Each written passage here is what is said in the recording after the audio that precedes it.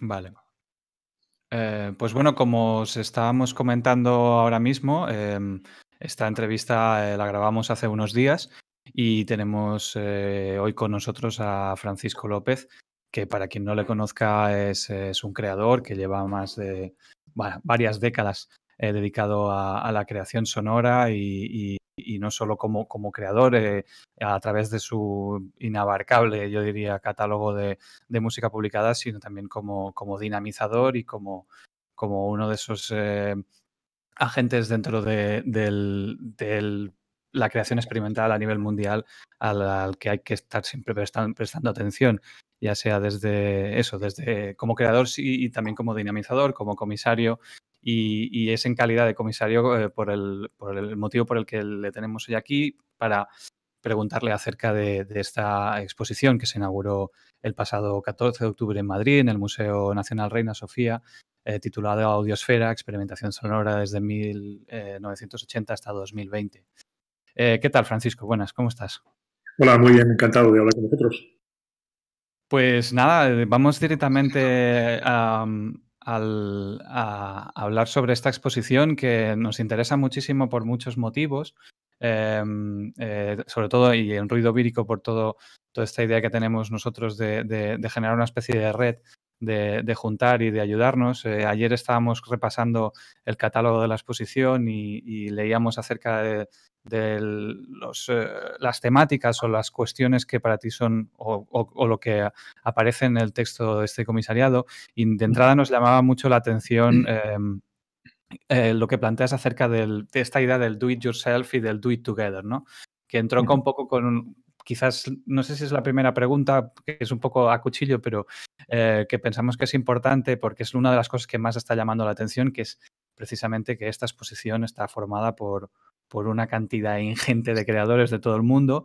Creo que eso tiene, tiene toda una, una razón de ser eh, y quizá podemos empezar por esa parte. ¿Por qué realmente? ¿Por qué sucede esta conjunción y se rompe una tendencia que ya lleva años sucediéndose y de repente eh, la manera de representar este mundo absolutamente complejo y vasto es a través de presentar la obra de cientos de artistas a la vez? Sí, bueno, mm, vamos a ver, la abundancia de la exposición es una, es una afirmación en sí misma desde el punto de vista del comisariado, ¿no? Eh, y tiene una razón muy importante para ser así. No es solo una cuestión de cantidad, eh, hay más de 800 artistas en esta exposición eh, de 80 países em, y hasta donde yo sé, pues creo que por estas dimensiones y por otras características de la exposición, eh, creo que no se ha hecho ninguna exposición de, estas características y ahora quizá podemos hablar un poco más de, otros aspectos, ¿no? creo que no se ha hecho nunca una exposición de este tipo en, ningún lugar del mundo, ¿no? Em, yo he he tenido la ocasión de, conocer y de visitar muchas exposiciones de arte sonoro y equivalentes eh, y desde esa perspectiva lo, afirmo. ¿no? Em, hay una razón importante para tener esta eh, aproximación curatorial que evidentemente genera, pues bueno, genera, tiene sus ventajas y sus, y sus retos, ¿no? Por ejemplo, el reto de que ningún visitante puede en una visita eh, escuchar ni muchísimo menos todo lo que contiene la exposición, pero eso es un reflejo de nuestra situación tecnocultural, ¿no? Eh, la exposición es así, tiene esa abundancia, porque desde mi perspectiva, y esa es una de las afirmaciones, una de las ideas de comisariado de la exposición, es, ha llegado la hora de hacer una, historia tecnocultural de la creación eh, sonora. De otras también, por supuesto, pero estamos hablando aquí de la creación sonora, que es mi, ámbito de, más, de mayor interés y, creo que el importante o el cambio más importante que ha ocurrido en las últimas décadas en la creación sonora eh, no es eh, tanto el cambio tecnológico, los clásicos eh, analógico-digital, que es una, la aparición de Internet, la telecomunicación, etcétera, etcétera. Esos son cambios importantes, por supuesto, pero eh, de mucha mayor dimensión y abarcándolos, incluyéndolos, esos cambios, es, desde mi perspectiva, lo que yo denomino la socialización de la, de la creación sonora. ¿no? La Audiosfera, la exposición, es, eh, pues es una exposición sobre lo que he venido a denominar como audio experimental social, pre y post-Internet. Entonces, es una, esencialmente, y esa es la razón para esa abundancia de, artistas en la exposición, es una exposición sobre eh, la socialización de la creación sonora experimental. Em, y eso creo que es una forma de bueno, es una forma primero de hacer justicia, yo diría, a la inmensa cantidad de artistas en todo el mundo que eh, de forma independiente, de mil maneras distintas, eh, han, creado y han generado el ecosistema o, la audiosfera en la que vivimos hoy en día, de creación sonora, de experimentación, de estéticas nuevas, etcétera, etcétera. Y eso es, es, la labor conjunta de una ingente cantidad de personas. Entonces, mi idea para esta exposición eh, fue desde el principio y es eh, eh, manifiesta en la exposición una idea en cierto sentido anticronológica.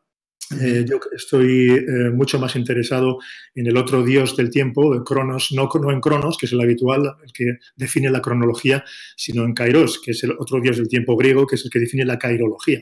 Y la cairología es una forma de entender el tiempo que tiene que ver con los fenómenos importantes que ocurren, con los fenómenos que cambian nuestra concepción de nuestra situación en el mundo, por ejemplo, nuestra situación tecnocultural. Y por eso la exposición yo digo que es cairológica y no cronológica. A mí no me interesa hacer otra exposición más sobre la cronología, como tampoco me ha interesado hacer otra exposición más sobre el arte sonoro donde aparezcan de nuevo el ABC eh, del arte sonoro, que es, en mm. fin, empezando en Rusolo y siguiendo por los ya conocidos eh, figuras legendarias, eh, los llamados pioneros, entre comillas.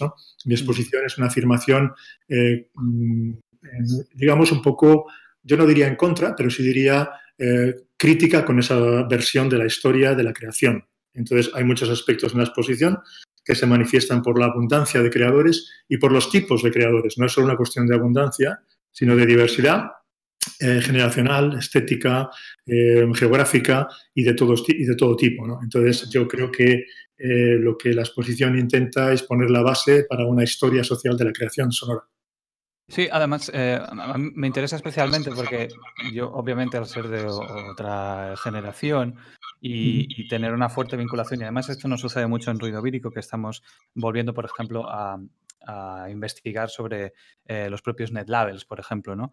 Y, me parece muy interesante ese acercamiento porque, como creo bien dices, eh, hablas sobre, sobre, sobre que todo esto es una red de comportamiento social y, y, en realidad, por ejemplo, en mi caso, mi formación como creador ha sido mucho más extensa si la abordo desde esa perspectiva que desde una perspectiva tradicional de, conocimientos adquiridos, por ejemplo, desde, desde una academia o una escuela de bellas artes, ¿no? Y, me parece muy pertinente, sobre todo si hacemos el vínculo con toda esa, toda esa red de intercambio eh, previa a Internet eh, de la que tú formaste parte activa, eh, con todo el, todo el tema de los cassettes, etcétera, etcétera, que creo que la exposición hace mucha justicia a esa, a esa forma de trabajar, ¿no? A ese, a, ese, a esas dinámicas de colaboración que, que sobrepasan completamente todas las fronteras eh, y que son transversales y, no me lo había planteado así lo del, tiempo, pero también me resulta, me resulta bastante asumible en ese sentido, es decir, que no hay una linealidad que también entronca mucho con, el historicismo académico y, con esas exposiciones a las que, a las que si no va a la zaga, eh, intenta reescribir, ¿no? Eh, con, intenta reescribir con audiosfera.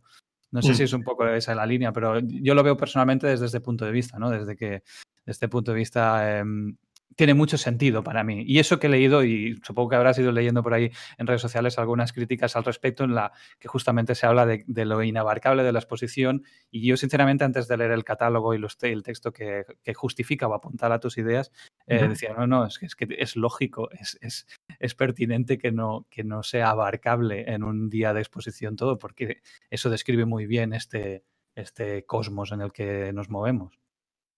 Sí, es también, hay muchas razones para, eso, además de, la, manifiesta abundancia de la realidad de creación sonora. ¿no? Hay otra que es, em, em, bueno, um, la dificultad de, elegir o también es una, creo que es una afirmación implícita de la gran cantidad de creación interesante que se está produciendo, ¿no? Porque mm. elegir, yo podría haber elegido un número muchísimo menor, ¿no? Mm. Eh, pero mm, hay una gran abundancia, afortunadamente, ¿no? Yo tengo mi propio gusto personal, naturalmente, y eso ha sido parte de la elección, pero solo en parte. He intentado que esa diversidad fuese más allá de, de, mis favoritos, digamos, ¿no? O, el tipo de creación sonora que a mí personalmente me interesa más. Entonces, ese ha sido un criterio también, por supuesto, pero he intentado desde mis limitaciones y con mi conocimiento, pues hacer una selección de calidad.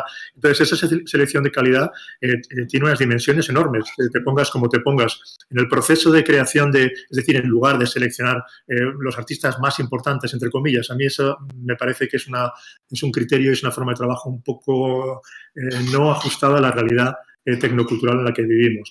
Entonces, de ahí también surgen, incluso con el intento de reducir. Eh, yo conozco personalmente muchos más artistas de los que están en la exposición. O sea, artistas sonoros, de creadores sonoros de todos los tipos imaginables, hay muchísimos, miles. Entonces, como afirmo en el catálogo, en algún punto de mi ensayo, pues esto es una selección pequeña de, de ese ámbito gigantesco. Y yo he intentado también con el diseño de la exposición que esa eh, introducción en ese universo tan gigantesco se le facilite al visitante de varias maneras. Entonces, eh, por ejemplo, la exposición permite que eh, salvar información durante la visita, que luego te puedes mandar a ti mismo por, una con una aplicación y con un, a través de tu correo electrónico, de una forma muy simplificada, para que todo lo que hayas visto que te haya interesado en la exposición tengas información adicional, todos los enlaces de páginas web de todos los artistas que, has, que te han interesado. Incluso te puedes llevar algunas de las obras de la exposición a la misma calidad que, el, que, la original del artista, que es otra cuestión también eh, eh, completamente distinta que la, cuestión de documentación sobre una exposición. Sí, en ese sentido te queríamos preguntar acerca del, desarrollo técnico, porque eh, evidentemente va a ser muy difícil para mucha gente ir a Madrid. Ahora mismo yo estoy en Valencia y no sé si voy a poder ir a verla, a escucharla y a disfrutarla, pero sí que la pregunta era, em, en ese sentido, es una pregunta técnica, pero también es, muy pertinente de eso, cómo se articula esta, esta aplicación y, cuál es la mecánica un poco de, la, exposición en sí y, cómo, es, cómo, cómo se hace abarcable todo ese, ese mm. universo Sí, bueno, más a mí no me gusta el término abarcar, me gusta más el término de, introducirse en o dejarse eh, llevar por ese, por ese mundo que es de exploración, que es lo que ocurre, lo que puede ocurrir en la exposición. Bueno, creo que ocurre inevitablemente.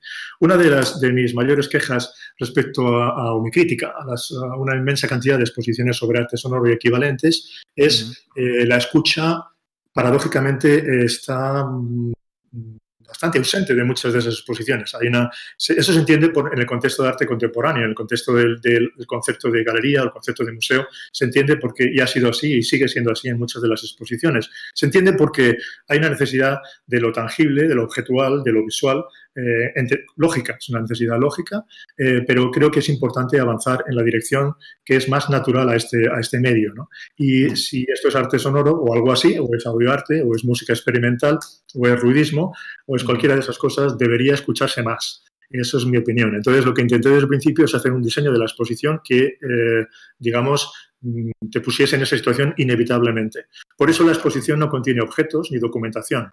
Eh, que es algo que podría haber hecho perfectamente, ¿no? Podría haber incluido muchos documentos, muchos discos, etcétera, etcétera. No incluye tampoco eh, vídeos ni proyecciones de ningún tipo. Incluso los textos de sala están en audio. Y todo eso está además de una forma móvil. Una de otras de mis quejas, que es una cuestión muy técnica, muy sencilla, son los auriculares clavados en la pared con un enchufe, enchufados a la pared. ¿no?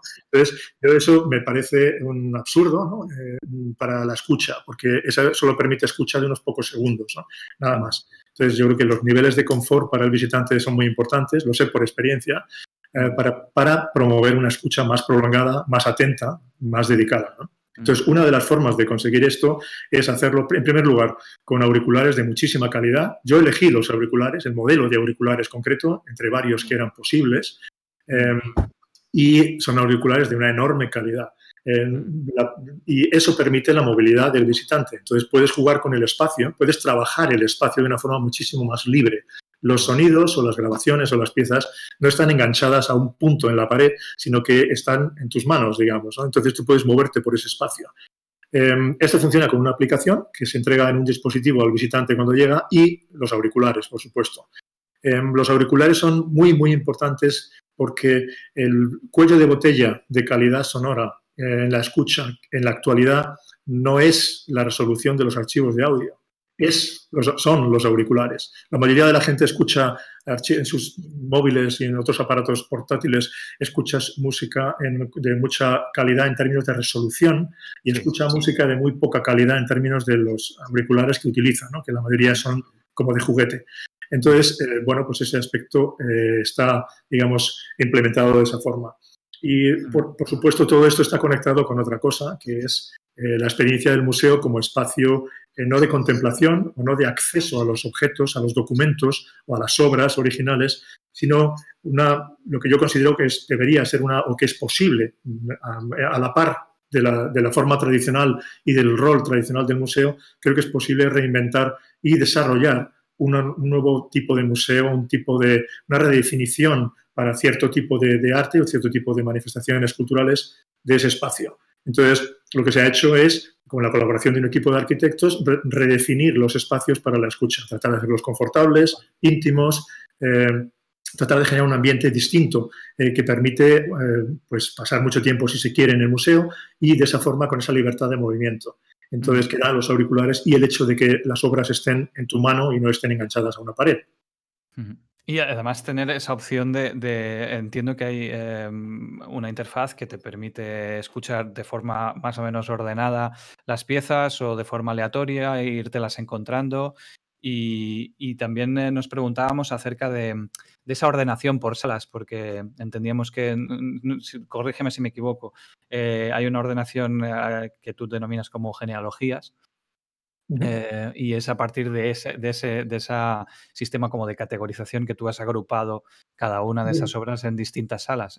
no sé si lo estoy diciendo mal ahora mismo. Bueno, lo que vamos a ver, la, exposición está articulada en torno, en lugar, en lugar de cronológicamente, como he dicho al principio, la, exposición está organizada en secciones de acuerdo a procesos tecnoculturales eh, relevantes que han ocurrido en las últimas décadas, que son los que, en mi opinión, definen eh, ese cambio eh, sociocultural, esa socialización que llamo de la, creación sonora, pues he tratado de identificar, he tratado de definir, de describir esos procesos gigantescos de gran relevancia que definen esa, esa socialización. Entonces, la exposición eh, lo que he hecho es asignar las obras a diferentes secciones eh, de una forma, mm, por supuesto, relativa. Es decir, las obras ilustran esos procesos de forma relativa. Una misma obra puede ilustrar todos los procesos, algunos de los procesos. Entonces, evidentemente, la eh, clasificación o la organización de las obras en esas secciones es solo relativa. Lo que sí es más relevante, por supuesto, es la definición de esos, la descripción de esos procesos de cambio social, uno, el primero de ellos descrito es todo lo que tiene que ver con las genealogías múltiples de la creación sonora. Esa es la primera sección de la exposición. Eh, genealogías eh, mucho más múltiples de los que se suele encontrar en las historias de la música experimental, en las historias del arte sonoro. Y es una genealogía, es una aproximación eh, crítica a las genealogías. Yo creo que en fin, hay mucho que hablar de eso, pero un aspecto fundamental es, hay ya varias generaciones cuya um, genealogía tiene más que ver con el rock and roll como cultura, con el punk, con otras eh, músicas, eh, digamos, populares, eh, que, con, cualquier genealogía más académica o más institucional o más clásica, digamos. Y eso es un aspecto, es uno de los varios aspectos. Hay otras secciones, por ejemplo, la, la, mega accesibilidad. La mega accesibilidad es lo que yo, es mi término para definir, bueno, el nivel al que se ha llegado de eh, la ingente cantidad de personas, muchos millones de personas en todo el mundo que tienen acceso al mismo tipo de tecnología o mm, esencialmente. Eso es lo que yo denomino mega accesibilidad y ese es un proceso tecnosocial que tiene unas consecuencias tremendas. Entonces, de esa forma, yo creo que es recombinación, el proceso de recombinación que no se refiere solo a la remezcla o al remix clásico, sino algo que va muchísimo más allá. Entonces, cada uno de estos son grandes procesos tecnoculturales, eh, sociales, que han tenido lugar en las últimas décadas y que han producido eso que eh, la situación en la que vivimos hoy en día relativa a la, creación sonora que denomino audio experimental social. Entonces, la exposición se articula alrededor de esos procesos y las obras tratan de ejemplificar, tratan de ilustrar, tratan de mostrar ejemplos que tienen que ver con esos procesos. Ya. Y además de tener, eh, como, como, decías antes, Em, esa, esa, capacidad poliédrica que siempre tiene el audio, ¿no? que es que es eh, accesible desde cualquier perspectiva y, y, abordable desde cualquier lado. ¿no? Em, me preguntaba yo ahí también, em, y sobre todo eh, atendiendo también a tu trabajo. Eh, la primera noticia que tuve cuando, por ejemplo, en mi caso, me invitaste a participar también, era la sensación que me dio de entrada a la exposición es que tenía que ver también con, la propia concepción del paisaje sonoro, de esa multiplicidad de fuentes de sonido. Y en un momento dado, mi, mi, primer pensamiento fue, bueno, esto probablemente sea una especie de eso, de un paisaje sonoro que se va a construir en un museo, pero desde luego lo que yo no podía imaginar era que eh, de repente se transformaría en, la forma en cómo, en cómo se, ha materializado al final y que esos procesos formales de, montaje expositivo, de, una interfaz tecnológica que está em, que eh, permite esa cierta interacción eh, con el usuario, tendrían una significación mucho más allá de lo estético o meramente formal, sino que el propio hecho de construir unos bancos de una forma determinada es un statement en sí mismo y eso me, resulta muy interesante. Em, hay, un, aspecto que tiene que ver con esto que tú estás comentando, que es el de la micro, lo, que yo denominaría como microgeolocalización, mm. que es la que se produce cuando eh, los, el, sistema técnico utilizado, que es el que, el que em, sugerí para esta exposición y es que es el que se utiliza, que se ha utilizado, que es eh, un sistema que funciona con beacons. Los beacons, para quien no lo sepa, son, sistemas, son unos microemisores que se pueden colocar en cualquier sitio. Esto se utiliza sobre todo para fines comerciales, ¿no? pero permiten detectar la presencia de un usuario, de un, o un visitante, alguien que tiene ese dispositivo móvil o tu propio eh, teléfono móvil. Mm. Eh, y con un sistema de triangulación te permiten saber si la persona está dentro de una sala o no, en el caso de salas, en el caso de, espacios definidos, ¿no? demarcados. Entonces, ¿para qué sirve eso? ¿Por qué se ha utilizado eso? Pues porque eso hace que tu presencia sea necesaria en las salas de la exposición para que tengas acceso a esos contenidos, inmateriales. Em, de manera que em, esa es la conexión física de la presencia del visitante con la exposición, la más importante. Y por tanto, eso es lo que hace que tú tengas acceso a los contenidos solo cuando estás físicamente en las salas del museo. Eso, por supuesto, se puede hacer de mil maneras y se puede cambiar, ¿no? Pero esa es la conexión que, te lleva a, que tu presencia sea necesaria en el museo y además que em, pues permita establecer cualquier tipo de conexión con lo que ocurre físicamente ahí, ¿no? como lo que tú estabas mencionando de eh, ese rediseño de los, de los espacios, en este caso para espacios de escucha. Mm, sí, no, y además es, fundamental también entenderlo desde, desde la pertinencia de que eso esté en un museo, porque también bajo este formato y conociendo el entresijo interno de la exposición, podría decir, bueno, pues podría ser un archivo, ¿no? Un archivo accesible a través de Internet, pero está este elemento físico de tener presencia, mm. de estar en ese lugar en concreto y de que en ese lugar en concreto realmente lo único que puedes hacer es eso, ¿no? Y, esa, esa, esa, capa es interesante. Me interesa también mucho Em, el uso de auriculares, que muchas veces es algo que, yo personalmente pienso que está un poco denostado muchas veces y muchas veces por la cuestión técnica, ¿no? De que tecnológicamente los, nuestros museos están muy mal preparados, por ejemplo, para ello. Eh, es verdad que el, ejemplo este del, auricular colgado a la pared es, absolutamente tremendo, pero me interesa como formato, eh, un formato que, considero que es, te encierra muchísimo y que, y que da, democratiza muchas cosas también. No sé si tienes esa misma sensación, que también imagino que a nivel técnico y a nivel de concepto, tratar de presentar unas, una cantidad de obras tan vasta, al pasarla, antes has dicho la, la, palabra esta de cuello de botella que me ha gustado, em, al pasarla todo por este, por este em, eh, a decir, canvas, ¿no? este lienzo único que son son los, eh, los, auriculares, creo que como que igualas o, haces pasar todo por un mismo lugar y, también reivindicas al auricular de buena calidad como una herramienta absolutamente viable y, interesante con la que trabajar, sobre todo cuando implica personas individuales y movimiento en espacios, ¿no? Sí, bueno, yo soy un gran, evidentemente soy un gran defensor de los auriculares cuando son de calidad, ¿no? Eh, y de calidad tampoco hace falta gastarse demasiado dinero, ¿no? O sea, yo creo que si alguien quiere tener una buena escucha musical, creo que tiene que gastarse muy poco dinero en, en, la parte que tiene que ver con, con, los archivos de audio y dejar lo que, lo, que no se ha gastado en eso en los auriculares lo mejor posible, ¿no? Soy un gran defensor por muchas razones, ¿no? creo que solo se pueden escuchar por supuesto tiene sus ventajas y sus inconvenientes. Y yo trabajo, como, sabes, yo trabajo en espacios eh, con el sonido en el espacio de mil maneras distintas, hago performances, conciertos en directo donde el, espacio es crucial, etcétera, etcétera. O sea que no, no es... No es mm, eh, pero, pero el auricular tiene su propio mundo Y una de las cosas que ocurre en los auriculares es que el espacio virtual de la composición, de la pieza sonora, del audio en sí, que, todos los audios contienen su espacio virtual, imaginario o representacional, pues ese espacio virtual está ahí eh, con toda claridad. ¿no? Y independiente del espacio, del resto del espacio. Entonces, sin que eso signifique que, que no se pueda no es eh, una, afirmación en contra de la, utilización de altavoces o de los espacios, en absoluto. Eh, es una forma de presentar los trabajos que eh, genera una neutralidad, digamos, en la presentación en cuanto a la escucha, de manera que cada persona está escuchando mm, pues, bastante, bastante parecido a lo que están escuchando diferentes personas. pero además de eso, tiene esa mm, intimidad con ese espacio sonoro que existe en las piezas, sea cual sea, que es imposible de conseguir de ninguna forma, ni en el mejor espacio acústico imaginable, ni en ninguna cámara anecoica, ni en ningún espacio perfecto de audición, sea cual sea. Eh, es imposible de conseguir eso con, con, uh, altavoces y cualquier espacio físico.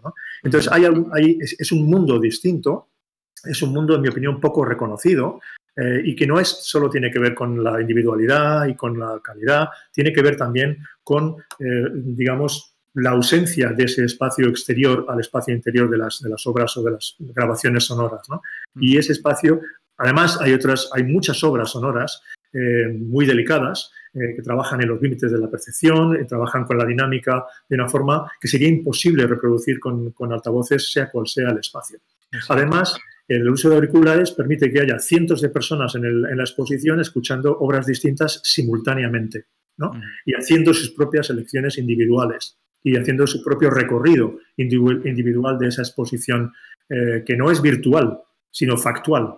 Eso es otro aspecto importante. Lo de la virtualidad es un, es un término eh, mal usado en muchas ocasiones, ¿no? Y esta exposición no es virtual porque las obras no estén físicamente en un disco en las salas de exposición. Es factual porque las obras sonoras son eso. Entonces, eh, bien, pues la exposición tiene ese, ese aspecto conseguible gracias al uso de auriculares.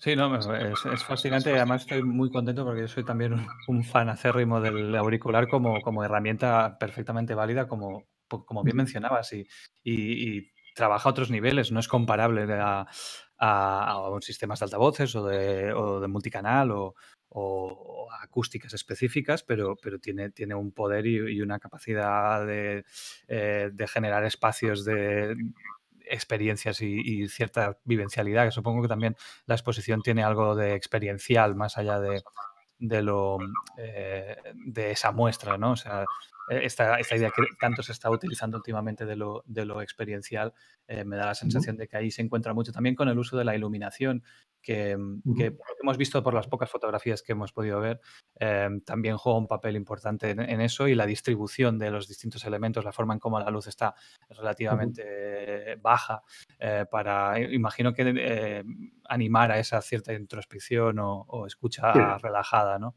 Mm. Sí, la idea es eh, lo que yo propuse como idea em, hay una serie de, de, elementos, digamos, que definen esa situación que, a la que yo aspiraba y que luego el equipo de arquitectos pues, ha definido, ha, diseñado con, esa con ese diseño específico de esas. Hay varias ideas como la confortabilidad, eh, el confort, para, em, la idea de intimidad, la idea de, espacio que, además la idea de diversidad posible de formas de hacer la escucha, te puedes sentar, te puedes tumbar, puedes caminar por las salas. Em, la idea es que hubiese esa multiplicidad posible de, situaciones eh, individuales para la escucha, que se fomentase, y que se intentase em, permitir de una forma muy directa y sencilla eh, una escucha prolongada y una escucha cómoda, mm. lo cual pues fomenta una escucha más larga, más, más profunda, más dedicada. Entonces, todos esos elementos se han manifestado de la forma que habéis podido ver en esas, en esas imágenes en el museo. Eh, por medio de ese tipo de diseño. El espacio es experiencial, digamos que Em, se puede abordar de muchas maneras distintas ¿no? y, em, hay muchas versiones posibles, pero yo creo que es una línea de trabajo em, que está ocurriendo y va a ocurrir mucho más de forma natural en los espacios expositivos por la sencilla razón de que hay mucha creación de la abundancia de la creación digital y también de la abundancia de la representación de la creación no digital. Entonces, creo que una tendencia importante que ya se manifiesta, claro, es la tendencia hacia esos espacios como espacios excepcionales. ¿Y eso qué quiere decir? Pues quiere decir que fuera un, rol nuevo interesante es el, del espacio expositivo que permite unas condiciones de percepción y de experiencia que el visitante en su hogar o en su espacio doméstico o en otro tipo de espacios sociales no puede conseguir. Entonces, eh, eso no es solo cuestión de tecnología eh, o de grandes instalaciones o de grandes sistemas tecnológicos eh, muy novedosos y muy caros, como ocurre con el paradigma del IMAX y, similares, ¿no? o de las proyecciones, etcétera, de los sistemas 3D, 4D, etcétera. Eh, no es solo cuestión de, tecnología eh, en grandes dosis, es cuestión de eh, diseño y de redefinición y de repensamiento de esos espacios como unos espacios que su, principal virtud no es contener objetos inalcanzables o objetos inusuales o excepcionales. Su principal virtud es constituir situaciones de experiencia que ya no se pueden conseguir fácilmente en casa o en otros lugares. ¿no? Entonces, ese es una, para mí un rol importante y el diseño, la reconfiguración de las salas para esta exposición tiene que ver con esa idea. Y hasta incluso una cierta, así por, proponer, una cierta pedagogía al mundo, ¿no? Más allá del, descubrir, adentrarse en, la creación sonora, de, precisamente de, esa, necesidad de, hacer cierta pedagogía sobre la forma en cómo escuchamos todo lo que escuchamos, ya sea eh, creación como sea ver una película en Netflix, ¿no? Y esa, mm. esa reivindicación que mucha gente del cine está haciendo, decir, bueno, el cine está pensado para ser visto de esta manera, pueden ustedes verlo en sus casas, pero pero, traten ustedes de verlo de la mejor forma posible. No sé si hay un poco de eso en, la exposición también, esa necesidad de decir, eh, dejad de utilizar el altavoz interno del teléfono móvil y, poneros unos cascos mínimamente decentes para... sí, hay una... Mm. Yo, ¿no? sé si lo llamaría pedagógico, eh, soy, un poco escéptico del proselitismo en general, ¿no? pero desde luego sí, es una propuesta y es una afirmación. O sea que estamos diciendo lo mismo con, quizá con palabras distintas, pero sí, sí, Que es, sí que es una afirmación implícita, creo que bastante clara. ¿no? Mm. Eh, tú has mencionado un buen ejemplo eh, clásico del espacio experiencial, que es el cine. Cine clásico, tiene el espacio del, cine, ¿no? donde cuando durante el tiempo de la película nuestra dedicación eh, para la mayoría de la gente normalmente es en, un grado de concentración increíble en, lo que está ocurriendo en la, en la proyección, ¿no? Y donde, bueno, la sala está oscura, toda la atención está centrada en la pantalla. O sea, hay una serie de condiciones que, que son consustanciales y que conocemos de toda la vida que son, un buena, eh, buen ejemplo de ese espacio experiencial. Lo que está ocurriendo ahora es que los espacios, eh, em, el acceso a esos medios, por ejemplo el audiovisual en general, pues eh, ahora está en nuestras manos, en el bolsillo, ¿no? Entonces lo llevamos con nosotros y eso genera una forma distinta de relación eh, genera mm, diferentes formas de entender esos medios y nuestra relación con ellos y nuestra relación con la representación. Pero también genera a, la, par genera un, posible eh, un camino de vuelta a espacio experiencial. Eso no quiere decir que, que, volvamos a cosas que ya existían en la misma forma que existían antes, Quiere decir que se está manifestando ya desde hace tiempo que hay una necesidad de espacios experienciales que se pierden eh, por el hecho de que tenemos el acceso eh, portátil y, en nuestras manos, de una forma distinta. Entonces, esa, em, pero además eso manifiesta otra cosa, y es que esos nuevos espacios experienciales, en el caso del sonido, por ejemplo, eh, no tienen que ser salas de conciertos. O sea, las salas de conciertos existen, tienen su papel, tienen su forma de operar, y de funcionar, pero es posible hacer redefinición de espacios eh, para, la, percepción y la experiencia de lo sonoro que van en otras direcciones y que se manifiestan de formas eh, diversas. Pero sí que creo que es importante, mm, o sea, a mí no me basta con que una exposición en un museo de arte contemporáneo o en una galería pues presente obras sonoras y ya eso es una gran revolución porque esas obras son sonoras. ¿no? Yo creo que ese, esa fase ya pasó hace muchos años, ¿no? Em, en concreto ya pasó, a, yo qué sé, los años 70, ¿no? Em, entonces, o 80. Entonces, bueno, pues creo que estamos, deberíamos estar en otra fase distinta y esa es mi afirmación. Fantástico. Em, nos quedamos un poco también con esa idea, eh, este nuevo escenario que no debería ser tan nuevo, que ya debería estar más explorado y, os invitamos a, todos a, los que podáis ir a Madrid y esperemos que en breve los demás, los que estamos fuera de la comunidad, podamos poder acercarnos al Reina Sofía hasta el 11 de enero. Estará esta muestra Audiosfera Experimentación Sonora desde 1980 hasta 2020. aprovechar también porque creo que hay dos exposiciones más que, abordan también la creación sonora en, este centro de arte.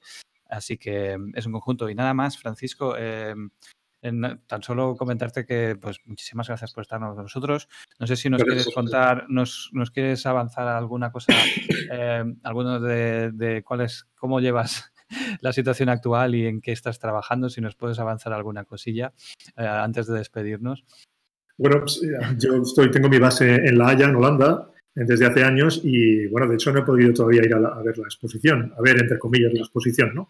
Em, eh, bueno, pues aquí el confinamiento, los diferentes confinamientos son bastante, por supuesto, mucho más, suaves que los, que los draconianos en España, ¿no?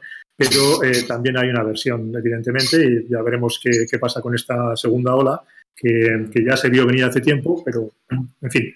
Eh, y bueno, pues yo trato de, me ha afectado directamente porque he tenido cancelaciones masivas, ¿no? Este año, pues mm, creo que me va a quedar un concierto de, muchos conciertos que tenía y otros proyectos en todo el mundo, ¿no? Que tenía eh, confirmados y planeados y todo eso pues se ha volatilizado completamente. O sea, personalmente me afecta bastante en ese sentido, ¿no? Pero yo sigo inventando, evidentemente, y he hecho, como muchos otros artistas que trabajamos con sonido, pues me he dedicado y me dedico en este momento a trabajar durante los últimos meses en, hacer muchas cosas que tenía por ahí en el, cajón, esperando, el mm. cajón de, hacer, de para hacer, eh, que es mm. bastante grande en mi caso, porque me apasiona mucho el trabajo que, que hago. Entonces, pues muchos proyectos este año han salido en lo que va de año, pues más de 20 eh, ediciones distintas de obras nuevas que he hecho en todos los formatos, ¿no? desde LPs hasta, en fin. Entonces eso está en marcha a un nivel eh, muy interesante y muy importante. Agradezco, al igual que muchos otros artistas, esta oportunidad para crear eh, y para terminar muchísimos proyectos que estaban ahí esperando. En ese sentido, fabuloso. Sí, y de hecho a eso nos referíamos un poco porque nos hiciste llegar, que te agradecemos especialmente, lo tengo aquí, el Bunch of Stuff, Em, esta recopilación de prácticamente 12 horas de uncompressed audio en el que reúnes toda una serie de piezas eh, que has hecho desde, desde, los 80. No sé si nos quieres comentar alguna cosa sobre, sobre este, este formato, que también es un formato digital en forma de, tarjeta USB y que ha publicado Nowhere. sí, bueno, es, una, una, edición que es una especie de selección, selección de fragmentos de, de más de 100 obras distintas, muy variadas, ¿no? de, que he hecho a lo largo de estas últimas cuatro décadas. Entonces, pues ese es una especie de compendio, digamos, eh, recopilatorio de, ahora que, que, es mi 40 aniversario haciendo, haciendo ruido, ¿no? entonces, bueno, pues eso trata de, dar una especie de visión panorámica en aspectos muy, muy diferentes, de obras que tienen que ver con grabaciones en selvas, eh, que es una de mis líneas de trabajo de hace muchos años, hasta cosas que tienen que ver con manipulación de fuentes sonoras de, de películas, de dibujos animados, de todo tipo de cosas bastante, yo diría, diversas. ¿no? Y bueno, pues esa es, una especie de, de panorámica eh, de, mi trabajo en los últimos, eh, desde que empecé a trabajar con sonido, ¿no? Esa es esa edición. Eh, y es, como tú has dicho, es un formato físico digital, eh, porque es una, tarjeta USB que en este caso pues, contiene 12 horas de audio, eh, pero es un formato físico muy, muy práctico, digamos, de transportar, de enviar y, de, mientras siga existiendo el USB, pues de transferir entre diferentes dispositivos. Exacto. Fantástico, pues bueno, ya lo sabéis, todos los que nos escucháis, ya conocéis el trabajo de Francisco López y, y los que no, pues esta es una invitación a que os adentréis. Eh, insistimos en que esa exposición en el Rey Ana Sofía va a estar hasta enero y los que podáis os acerquéis. Y nada, ahora sí que sí, muchísimas gracias Francisco por, por atendernos y, y, por darnos respuesta a todas esas preguntas que algunos vamos a hacer con tu exposición. Gracias a vosotros. Sí me gustaría mencionar, si puedo, una cosa que, tiene que ver en detalle, eh, que tiene que ver con lo que has comentado, porque eh, bueno, espero que, la mayor cantidad posible de gente tenga la ocasión de, ir al, museo mm. a, experimentar la exposición, a escuchar las obras. Mm. Eh, además de eso, eh, todos los artistas que participan van a recibir códigos de descarga de las obras, una, serie de, códigos de descarga, lo que quiere decir que esos son 10 códigos por artista y hay más de 800, quiere decir que eso equivale a una edición de unas 8.000 copias de todas las obras de la exposición que, están, cuya distribución está en las manos de los propios artistas. De manera que eh, es posible que alguien si está interesado y conoce a alguno de los artistas, pues pueda conseguir una de las copias de descarga de todas las obras de la exposición. Entre ellos yo, que o sea que seguro que repartiré unas cuantas. Fantástico, pues es una, es una, manera increíble también de, aparte de esa cosa que apuntabas al principio, de que la propia aplicación en el museo te permite descargarte la información y acceder a esas obras de esos creadores, que eso suceda eh, es fantástico porque al fin y al cabo todo esto se trata de que nos escuchemos un poco los unos a los otros. Correcto. Eh, qué bien. Fantástico, pues muchísimas gracias Francisco. Eh, nos vemos por aquí, nos escuchamos en las redes. Muy bien, fantástico. Gracias, hasta luego. Ahora.